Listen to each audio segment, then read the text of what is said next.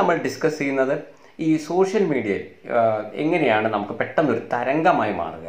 അതോടൊപ്പം തന്നെ നമുക്ക് ഈ ലൈക്ക് ഷെയർ അതുപോലെ തന്നെ റീച്ച് പലർക്കും അറിയാത്തൊരു കാര്യമാണ് എങ്ങനെയാണ് ഈ റീച്ച് ഉണ്ടാക്കുക എന്ന് പറയുന്നത്. ഫേസ്ബുക്കിലൊക്കെ ഒരു ഒരു ടിക്ക് മാർക്ക് കാണാറുണ്ടല്ലോ ഒരു വെരിഫൈഡ് ആയിട്ടുള്ള ഫേസ്ബുക്കാണ് ഇപ്പോൾ ഈ ടിക്ക് മാർക്ക് കാണുന്നത്. എങ്ങനെയാണ് നിങ്ങളുടെ ഫേസ്ബുക്ക് ഒരു വെരിഫൈ ചെയ്തെടുക്കുക. അതോടൊപ്പം തന്നെ ഇതിൽ നിന്നെല്ലാം എങ്ങനെ വരുമാനം ഉണ്ടാക്കാം? ഓരോ കാര്യങ്ങളും നിങ്ങൾക്ക് വരുമാനം ഉണ്ടാക്കാവുന്നുള്ളൂ അതൊക്കെ എങ്ങനെ ചെയ്യാൻ പറ്റും? അധികം കഷ്ടപ്പെടാതെ നിങ്ങൾക്ക് എങ്ങനെ ഒരു സോഷ്യൽ മീഡിയ തരംഗമാകാൻ പറ്റും എന്നുള്ളതിനെ കുറിച്ചാണ് ഇന്നത്തെ ഈ വീഡിയോ കൊണ്ട് നമ്മൾ ഉദ്ദേശിക്കുന്നത്. എപ്പോഴും പൊതുവെ നിങ്ങൾക്ക് നോക്കി അറിയാൻ പറ്റും. ഇപ്പം നിങ്ങളെ ഫേസ്ബുക്കിൽ ഇപ്പോൾ സപ്പോസ് ഒരു രണ്ടായിരം ആളുള്ളത് വിചാരിച്ചു. ഈ രണ്ടായിരം പേരും നിങ്ങളിടുന്ന ഒരു ഫോട്ടോയ്ക്കോ വീഡിയോയ്ക്കോ സാധാരണഗതിയിൽ നിങ്ങൾക്ക് അല്ലെങ്കിൽ രണ്ടായിരം വ്യൂസ് നിങ്ങൾക്ക് ഉണ്ടാവാറില്ല.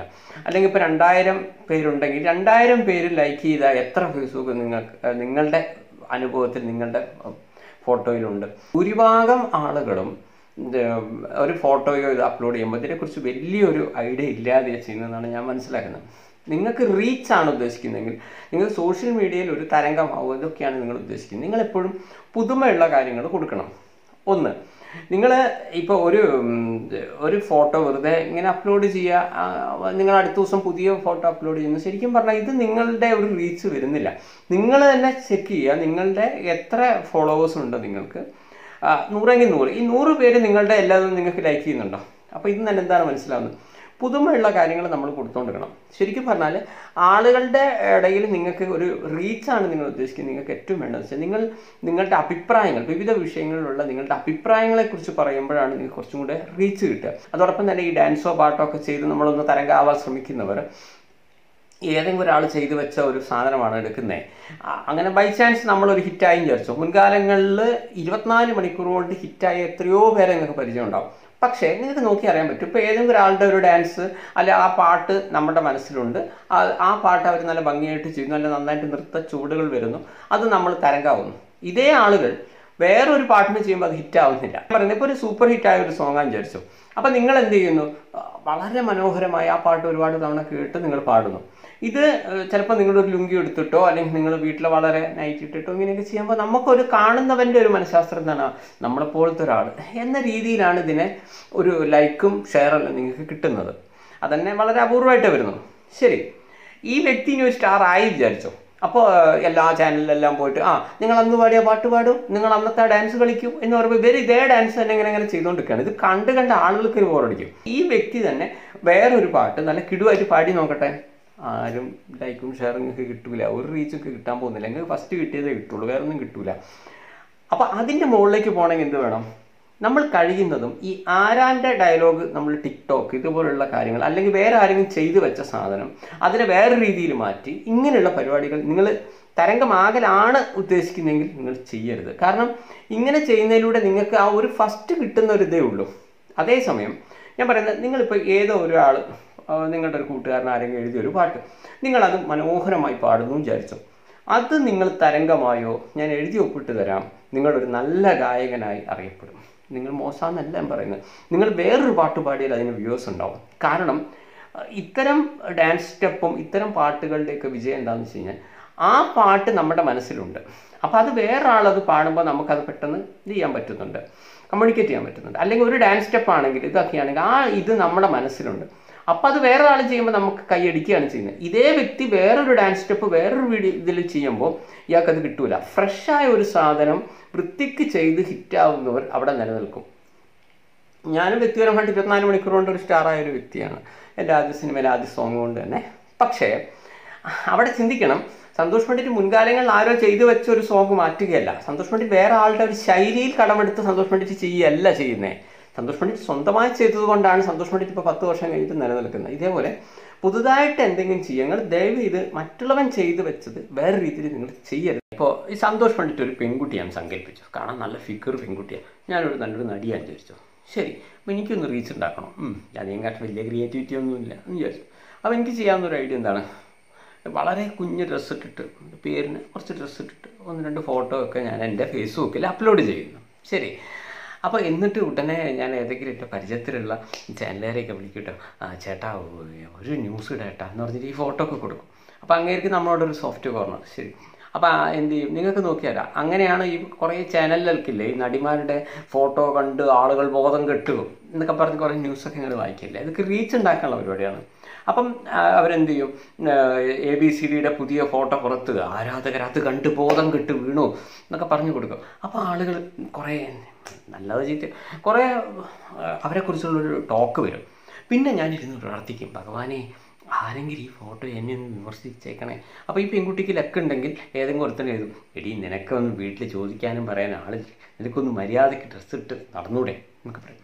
അപ്പോൾ ഞാൻ എന്ത് ചെയ്യും ഓൾറെഡി ഒക്കെ റെഡിയാക്കി വെച്ചിട്ടുണ്ടാവും. എടാ ഡാഷ് ഡാഷ് എന്നൊക്കെ പറഞ്ഞ് കുറേ തെറിയൊക്കെ പറഞ്ഞ് ഞാനൊരു മറുപടിയും കൊടുക്കും. എന്നിട്ട് വീണ്ടും നമ്മളെ നേരത്തെ നമ്മളെ കൂട്ടുകാരനെ വിളിക്കും. അതിന് വേണമെങ്കിൽ റിപ്പോർട്ടർക്ക് എന്തെങ്കിലും കുറച്ച് ചില്ലറ കൊടുത്താലും കുഴപ്പമൊന്നുമില്ല. റീച്ച് കിട്ടുന്ന കാര്യമല്ലേ? എല്ലാവരും ആകുമൊന്നുമില്ല കേട്ടോ ഞാൻ പറയുകയാണ് ഇനിയിപ്പോൾ അങ്ങനെ കൊടുത്താൽ നഷ്ടമൊന്നുമില്ല. അപ്പോൾ ഇവന് ചേട്ടാ അത് നോക്ക്. ഞാനൊരു മറുപടി കൊടുത്തിട്ടുണ്ട്. ഇതിന്റെ സ്ക്രീൻഷോട്ട് എടുക്കും. എന്നിട്ട് ചേട്ടന് ഒരു ന്യൂസ് കൊടുക്കുക അപ്പോൾ ഇനി രണ്ടാമത്തെ ന്യൂസ് കിട്ടുകയാണ്. അതായത് ആദ്യം നമ്മളെ ഫോട്ടോ കണ്ട് ബോധം കെട്ട കഥ വന്നു. രണ്ടാമത്തെ സദാചാര പോലീസിനെ എ ബി സി ഡിയുടെ മാസ് മറുപടി എന്ന് പറയും. അപ്പോൾ ആൾക്കാർ ഉടനെ ആഹാ ഇവൻ ഇത്രയ്ക്കായോ? അപ്പോൾ നമുക്ക് ഒരൊറ്റ ഫോട്ടോയിൽ തന്നെ രണ്ട് ന്യൂസ് ഒപ്പിച്ചു. ഇനി വീണ്ടും കുറച്ചും കൂടെ ബുദ്ധിയുള്ള ഒരു കുട്ടിയാണെങ്കിൽ അത്യാവശ്യം വിദ്യാഭ്യാസമൊക്കെ ഉള്ള ഒരു നടിയാണ് ഞാനൊരു നടിയൊക്കെയാണ് ഞാൻ അങ്ങനെ ചെയ്തിട്ടോ ഞാൻ പെൺകുട്ടിയാവാതിരുന്ന കേരളത്തിലെ ഞങ്ങളെ ഭാഗ്യ. പോട്ടെ. അപ്പോൾ ഞാനെന്ത് ചെയ്യും? മറ്റുള്ള നടിമാരെ വിളിക്കുക എടി നോക്കടി ഞാനിങ്ങനെ ഒരു ഡ്രസ്സ് ഇട്ടപ്പോൾ എനിക്ക് ഇങ്ങനത്തെ ഒരു അനുഭവം ഉണ്ടായി. നമുക്ക് ഇതൊരു ഹാഷ് ടാഗ് ഇട്ട് തുടങ്ങണം. ടോപ്പ്ലെസ് അല്ലെങ്കിൽ ഡ്രസ്സ് ഇടാത്ത ഫോട്ടോ അല്ലെങ്കിൽ കുഞ്ഞു ഡ്രസ്സ് ഇട്ടുള്ള ഫോട്ടോ അപ്പം നിങ്ങളൊക്കെ എനിക്കൊരു സപ്പോർട്ട് തരണം പറയും അപ്പോൾ ഈ പെൺകുട്ടികളൊക്കെ എന്ത് ചെയ്യും? എന്നെ പോലെ അങ്ങനെ പ്രത്യേകിച്ച് ഡ്രസ്സൊന്നും ഇടാതെ കുറേ ഈ ഇവർക്ക് കട്ട സപ്പോർട്ട് സദാചാര പോലീസിനെ മറുപടി എന്നൊക്കെ പറഞ്ഞു പറഞ്ഞു സദാചാര പോലീസിന് മറുപടിയാണെങ്കിലും അല്ലെങ്കിലും നമുക്ക് എന്ത് കിട്ടി? ഒരു നല്ലൊരു മൈലേജ് കിട്ടി. അപ്പോൾ ആൾക്കാർ ചോദിക്കും ഇതെന്താടാ എല്ലാ പെണ്ണുങ്ങളും ഇങ്ങനെ? അപ്പോൾ ആൾക്കാർ അറിയില്ലേ? നമ്മൾ എ ബി സി ഡി ഇങ്ങനെ ഒരു ഫോട്ടോ ഇട്ടപ്പോൾ സദാചാര പോലീസ് ആക്രമിച്ചു. സൈബർ ആക്രമണം. അപ്പോൾ അതിനെതിരെ ഇത് സ്ത്രീകളുടെ വിജയമാണ്. സ്ത്രീ സ്വാതന്ത്ര്യമാണ് എന്ത് കോപ്പമാവട്ടെ സംഭവം നമുക്കിപ്പോൾ ഒരു ഒരു ന്യൂസ് കിട്ടും. അപ്പോൾ മൂന്നാമത്തെ ന്യൂസ് വന്നു. ഈ നടിക്ക് കട്ട സപ്പോർട്ട് അപ്പോൾ ഇതിനെക്കുറിച്ചും ഇത് വന്നു. ചുരുക്കം പറഞ്ഞാൽ നമ്മൾ രണ്ട് മൂന്ന് ദിവസം നമ്മളൊന്ന് ഈ സോഷ്യൽ മീഡിയയിലെ ട്രെൻഡിലെത്തും ഇത്രയേ ഉള്ളൂ. പക്ഷേ അതിപ്പോൾ മൂന്ന് ദിവസം കഴിഞ്ഞാൽ പിന്നെയും നമ്മൾ സീറോയിലേക്ക് വരും. അതുകൊണ്ട് ഇത് കഴിഞ്ഞാൽ ഒരു മൂന്ന് ദിവസം കഴിഞ്ഞാൽ പിന്നെ വീണ്ടും അടുത്ത ഒരു ഐഡിയ നോക്കി വീണ്ടും അതേപോലെ ഫോട്ടോ ഇടുക. ഇങ്ങനെയൊക്കെ തന്നെ റീച്ച് ഇടാനുള്ളൂ. പക്ഷേ അതിങ്ങനെ കണ്ടിന്യൂസ്ലി കാണാൻ പിന്നെ ആളുകൾക്ക് താല്പര്യമില്ലാണ്ടോ അപ്പോൾ നമ്മുടെ പുതുമയുള്ള കാര്യങ്ങൾ നിങ്ങൾ ചെയ്യുക. പിന്നെ പറയേണ്ടത് പച്ചയ്ക്ക് തന്നെ അങ്ങ് പറഞ്ഞേക്കുക ഞാൻ പറയുന്ന എക്സാമ്പിൾ നിലപാടെന്ന് പറയുമ്പോൾ ഇപ്പോൾ ഒരു നിയമസഭാ ഇലക്ഷൻ വരുന്നു. അപ്പോൾ നമ്മൾ കൃത്യമായിട്ട് തന്നെ പറയാം. അത് സി പി എം തന്നെയേ ജയിക്കുള്ളൂ. കോൺഗ്രസ് ഒരിക്കലും ജയിക്കില്ല അല്ലെങ്കിൽ പറയാം നമ്മൾ പറയും കോൺഗ്രസ്സേ ജയിക്കൂ.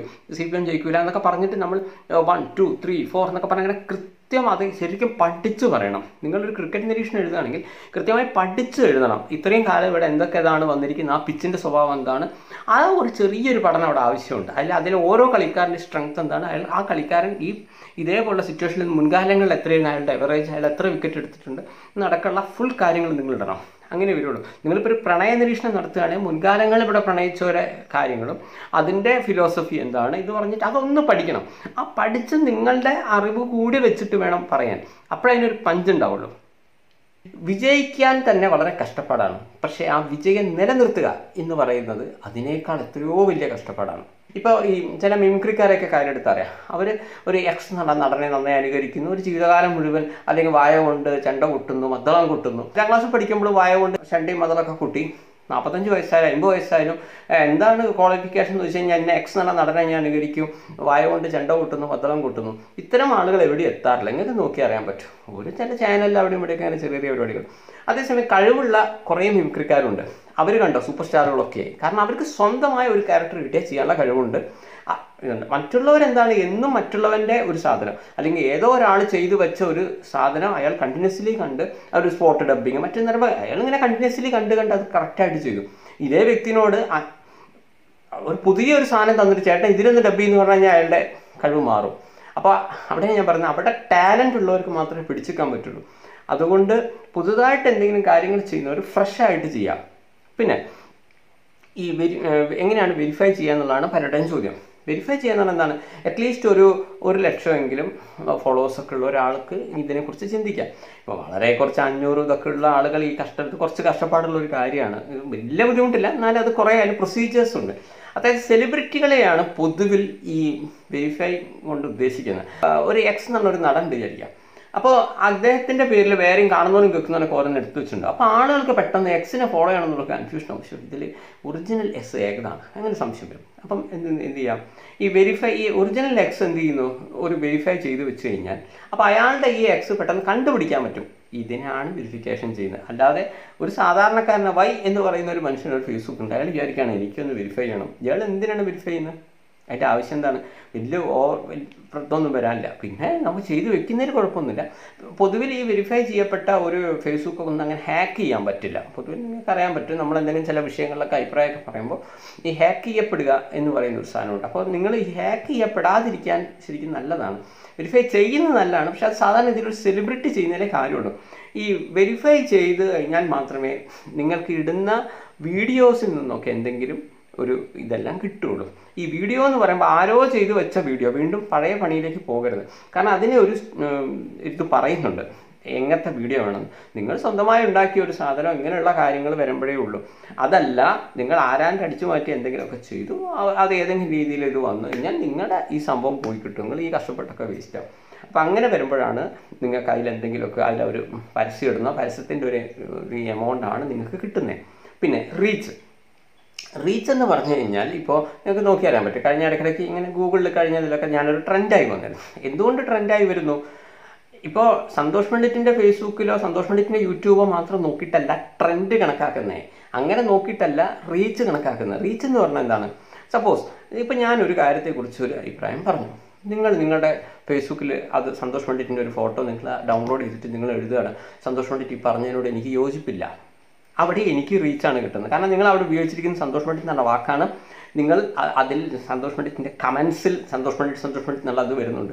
ഇത് മാത്രമാണ് ഫേസ്ബുക്കും അല്ലെങ്കിൽ ഒരു സോഷ്യൽ മീഡിയയിലെ തരംഗവും റീച്ചും നോക്കുന്നത്. അല്ലാതെ നിങ്ങൾ അതിൽ പറഞ്ഞത് എന്നോട് യോജിച്ചിട്ടാണോ എഴുതിയത് വിയോജിച്ചിട്ടാണോ ഒന്നും ഇവിടെ ആരും നോക്കുന്നില്ല.